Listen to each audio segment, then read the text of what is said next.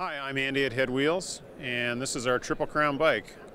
We're known for wheels, but as a fun side project, we decided to co partner with Eric at Peacock Groove and do kind of a window candy gravel racing bike. So, this is our Triple Crown. We call it Triple Crown um, because of the triple plate crown here.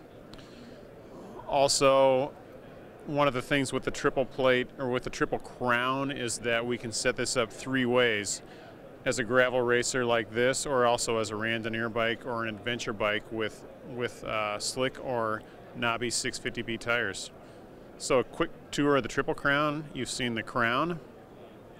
Um, we wanted to make this a real showpiece. There are lots of gravel bikes out there now, so we partnered with a hand builder. We got stuff like a, a compound bend stays, both directions here, a really stout chainstay that will that will keep your bike going on gravel, a fork that has some flexibility, but with this triple crown up here, it steers very well. It goes where you want it to go.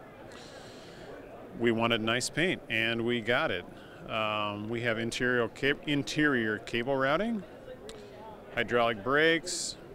On this particular bike, electronic shifting. It's just a brilliant, beautiful gravel race bike.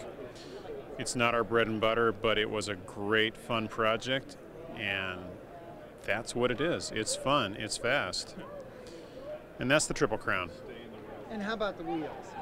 Well, HED wheels. We've been around for 29 years. Uh, some famous people have ridden our wheels, some people have won the tour, some people who have won world championships. Um, we are known for wheels, and um, I, I don't brag a lot. They're great wheels. It's what we do very well.